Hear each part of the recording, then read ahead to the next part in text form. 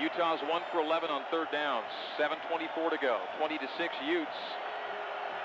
Four wides in the set. Wilson and Poole in the backfield.